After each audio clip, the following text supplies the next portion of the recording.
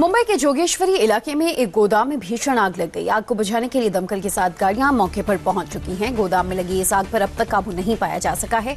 गोदाम में आग किस वजह से लगी, कितना नुकसान हुआ, अभी तमाम जानकारियाँ नहीं मिल पाई हैं। फ़िलहाल एक ब्रेक के लिए रुकेंगे। ब्रेक के बाद देखिए दस मिनट में सुबह की सौ बड़ी खबरें।